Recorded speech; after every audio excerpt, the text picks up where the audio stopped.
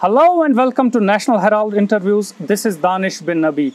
I am joined by senior CPIM leader and People's Alliance for Gupkar Declaration spokesperson, Mr. Yusuf Mohammad Tarigami. How Kashmir has changed since the abrogation of Article 370, the upcoming state elections of Jammu and Kashmir, and the overall security situation of Kashmir are some of the key issues that I shall raise with Mr. Tarigami. Mr. Tarigami, welcome to National Herald. Thank you. Mr. Tarigami, I want to begin this interview by asking you how Kashmir politics, rather Jammu and Kashmir politics, has changed since the dilution of special status of Jammu and Kashmir. Are you still uh, talking about uh, dilution? It's not only dilution, it is beyond that. In my view, it's a assault on the very basic structure of the Constitution of India. It's an assault on the very basis of our relationship, bond of relationship between the people of Jammu and Kashmir and the Union of India.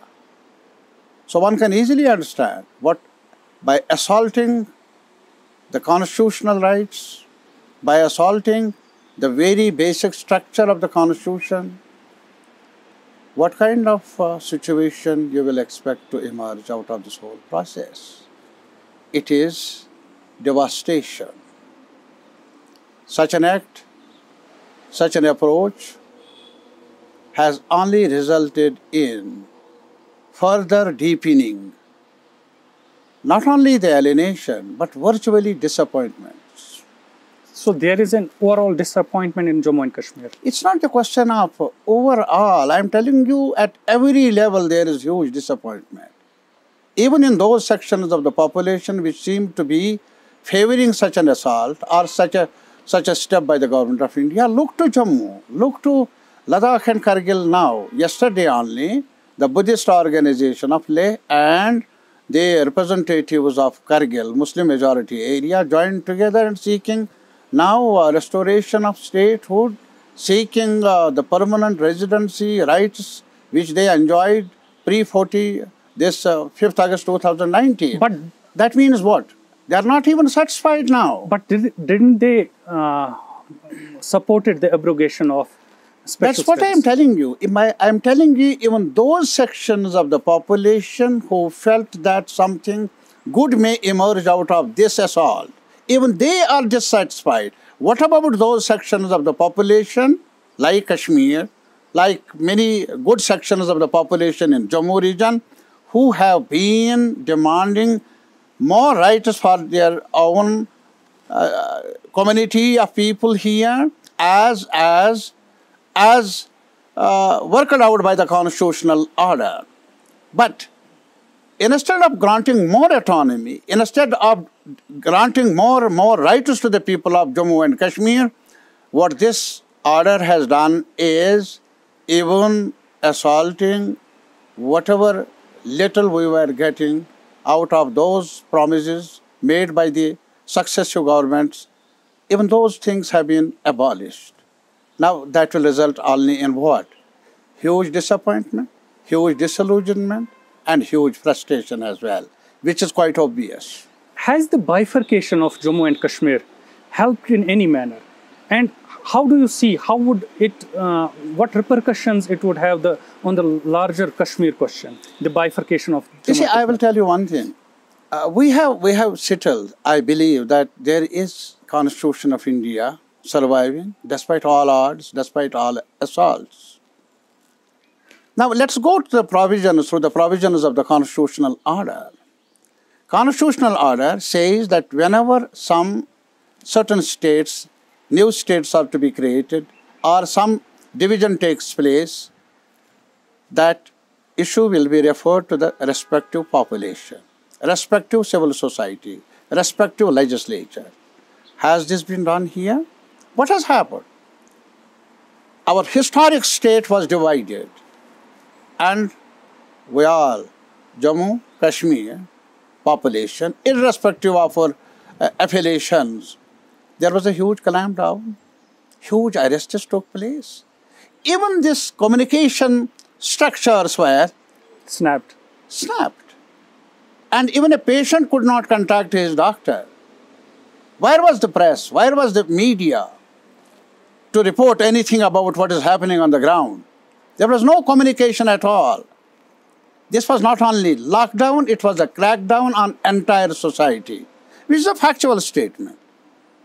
So tell me that uh, you are discussing, Parliament is discussing something about me and putting me under crackdown, lockdown, With, How? without taking you on board. that without not only taking me on By board, but, you, I but- mean the entire but, state. But virtually, The stakeholders of the state. virtually, virtually creating a situation where we have been, all of us have, as a society, have been uh, uh, put together in a larger prison. So this is what it is, what the reality is. You are also the spokesperson of People's Alliances, which is for the Gupkar Declaration. So how is opposition parties taking this up with the center? You know, the first of all, I must tell you, the alliance has emerged on 4th August 2019, when there were huge rumors about something, Something is, happening. Something is happening. When Yatra was stopped, Stopped. when tourists were today they are talking about tourism and all that. It is on that day, 4th August, even 3rd before, August, yeah. tourists were forced to leave the leave Kashmir and leave other parts of Jammu and Kashmir.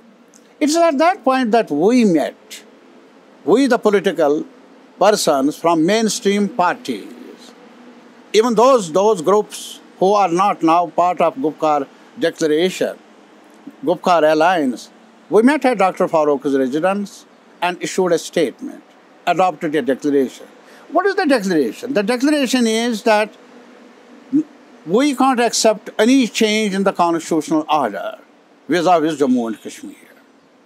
We can't expect anything being done about us without involving us in the proper way in discussion and in debate.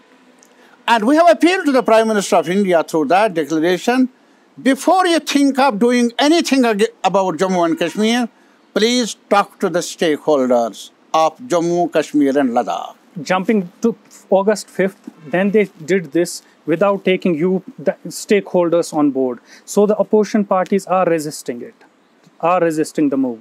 Yes. Are you? Surely, that's what we are doing, what we are meant but for. they, they call you the Gupkar gang. Now, whatever you see, though, you can abuse me, you can accuse me, you can condemn me. You are the master of the, uh, the day. You are holding the power. You can, you can abuse the whole community of the people of Mr. India. Tariq, even. Mr. Tariq, tell me this. Is BJP, has BJP been successful in discrediting the Kashmiri leadership, the Kashmiri political stakeholders? How do you believe that BJP has the credibility? I don't believe it. I'm o- No, asking you. my- my point is, how do you, how do, how does anybody believe that BJP has the credibility, which is, uh, which uh, we may question? They don't have anything uh, as of uh, being credible. And how can this organization, this setup, this structure, which is only relying on more and more lies, spreading hatred, spreading divisive politics in the whole of the country, how do you expect them succeeding in discrediting the politicians? in discrediting us? They are not masters, they are discredit th- themselves. They are whatever they are doing in today today's situation in the whole of the country, they are only- Indirectly, they are discrediting themselves, not the Kashmiri politicians. Not only they are they are already discredited in the sense now they are taking advantage of polarization, putting one section of the people against another. yeah. They are using they are using coercive organizations like NIA, like ED, like CBI, rather misusing such institutions to silence the opposition at every level. It's not only in Jammu and Kashmir. It is ever, it is uh, m- more often happening in the rest of the country. So, Kashmiri politicians, Kashmiri political stakeholders have not been discredited. We will be discredited only when the people of Kashmir decide about that. And- And, that's, that's what I'm telling you. They are afraid of. And you say the people of Kashmir, I mean to say, people of Jammu and Kashmir are with you.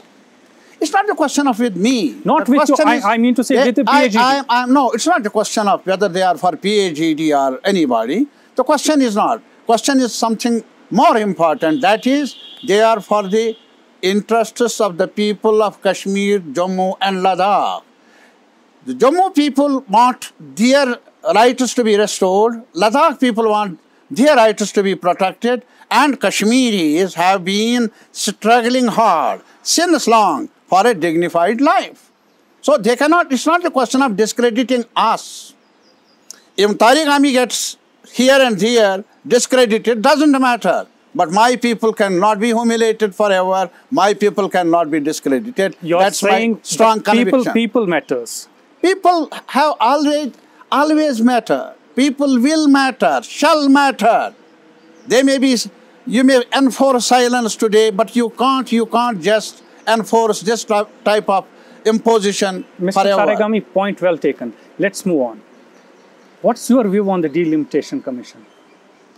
Delimitation Commission is again, again an exercise which is absolutely unconstitutional. And it, it will have, uh, I hope, uh, I'm uh, not so sure that it will be anything, providing anything good for the country as a whole, democratic process. Now look, in 2002, there has been an amendment in the Constitution of India putting a freeze on delimitation process. And it has been said that 2026, a new uh, census will take place, and after that, some sort of a delimiting the constituencies will be in order. That will take place only after that. We accordingly in Jammu and Kashmir Assembly amended the constitution of Jammu and Kashmir and wanted to do what? We wanted to go along with the country because the Constitution of India was amended and there was a freeze on the delimitation process. We want to have the delimitation process conducted along with the rest of the country. Now, this government is talking about integration. When we talk that we want to go with the people of India, rest of the country, they want, they push us to the wall. They say no, they are in hurry, doing something which does not carry the conviction of the constitutional provisions of India. So you're saying it's the undemocratic way they have Not done only undemocratic, it is unconstitutional as well. as well. Point well taken, Mr. Tarigami. Since July 2018, Jammu and Kashmir Assembly has been in the suspension mode, which is unusual as well as undemocratic as well. Do you see elections happening anytime soon in Jammu and Kashmir? It's not in suspension, it is no wire assembly. You see, please just have a few seconds about this issue. Uh, when there was an alliance between the two parties, and then governors issued presidential order, and accordingly it was put under suspended animation. Suspended animation. It was not dissolved. What is suspended animation? Means that there is a possibility of forming a new alliance, forming a new government, exploring those possibilities. But what happened? When some political parties together wanted to move to form the government, to explore the possibilities, the facts of the governor's house was not in order. And then next day when it was dissolved, the assembly was dissolved, all the facts came into order. However, what you see, you understand the approach of the those who are in authority. Actually, the designers are they don't want to have a legislature here, and whatever the incident, whatever has happened later on, that has confirmed, that has our our assertion, our suspicions that they wanted to dissolve the assembly and then assault the constitution itself. Mr. Tarigami, many believe, many political pundits believe that Kashmir is a police state. And has it been worse since 2019? I'm telling you, what is the what is police state? Even even now, those people who are who have been earlier in authority, even those experts who have been dealing with the Kashmir situation since long, they are of this opinion that there is a hard security approach be, being adopted by today's government.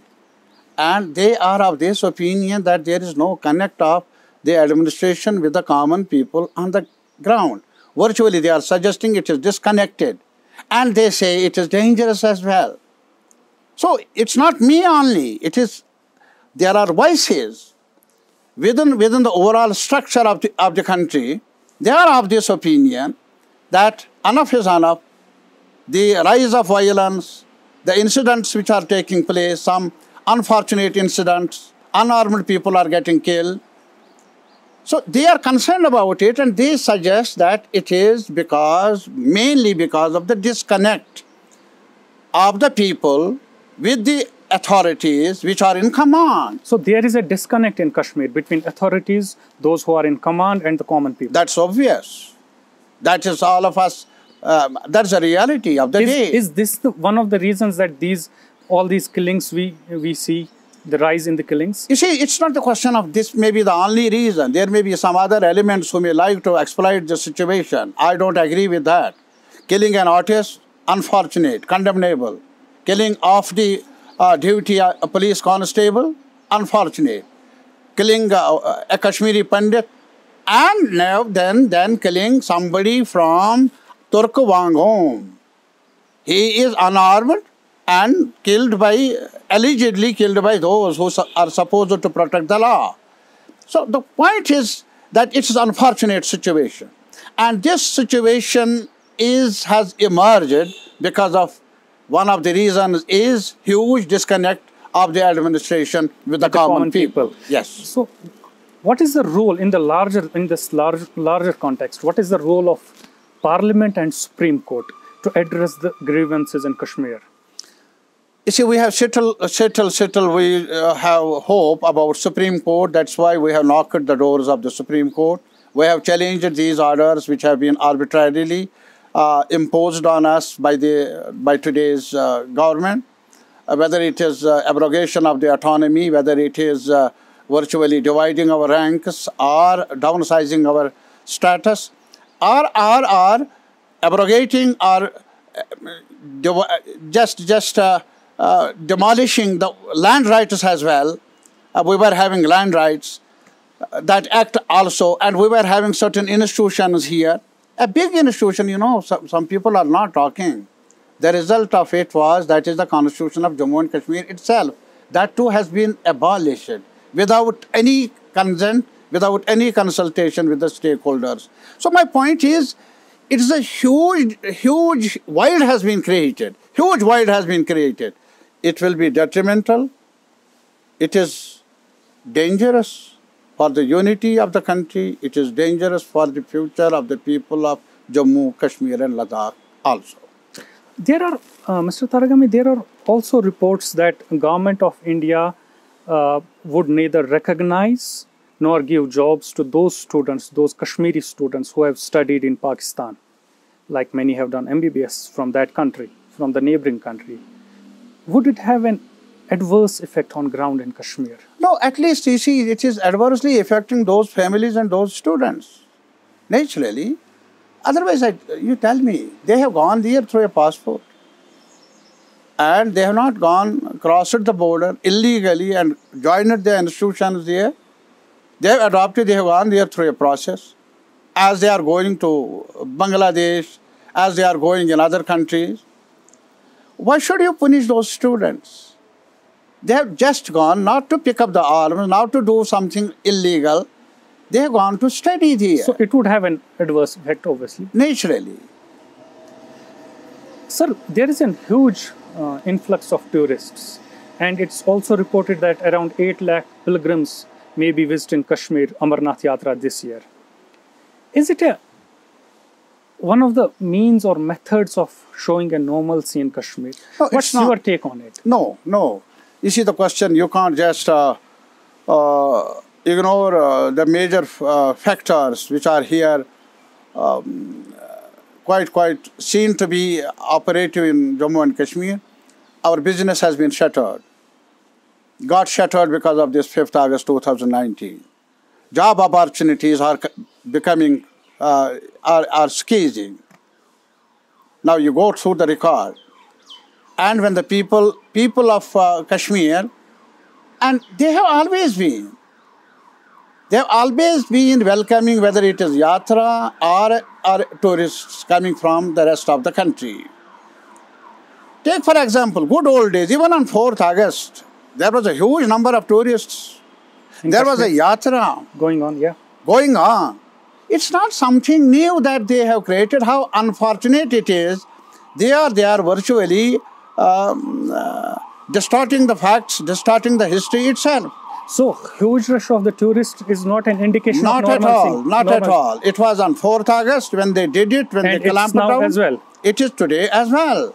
And tourists have, people of Kashmir have always, even hard days, difficult days, they have given them shelter in their own homes. So tourism, Our- Amarnath Yatra yatras is not an indication alwa- of normalcy. Have always been welcome, even in odd days, difficult days, and because of the people. Cannot be taken as an indication It has never- it has never been- Point taken, point taken, Tariq. I'm sorry, I'm running off time Yes. very terribly. My last question: What is the way forward in Kashmir? The way forward is that government of India must take a view about what they have done. I'm not talking, I'm not seeking any favor, not at all. I'm seeking what is my, that has to be provided to me. You can't deny that arbitrarily dismantling the whole relationship between the people of Jammu and Kashmir and the rest of the country. We want to be together. We want to be together. And for that, rights which have been enshrined in the constitutional provisions by the Constituent Assembly itself, restore those rights. That the government of India, it is better, sooner the better. It will be good for the country, it will be good for the people of Jammu and Kashmir. Kashmiris are not begging. We want terms on. We want our rights on equal terms. we are asking whatever is suggested or framed for us by those senior leaders, freedom fighters, By the founding members of who India. Framed, who framed the Constitution of India, Ambedkar, Pandit Jawaharlal Nehru, Rajendra Prasad, Sardar Patel, Maulana Abul Kalam Azad. Kashmiris have never asked for anything which does not belong to them. Kashmiris have always asked for what is their legitimate right, guaranteed under constitutional provisions. They have always stood for a dignified life. Legitimate rights and dignified life. Yes, that that's is- what Kashmiri wants, That's the way forward. and that's the only way forward. Yes, sir. Mr. Tarigami, pleasure talking to me. Thank you. Thank you.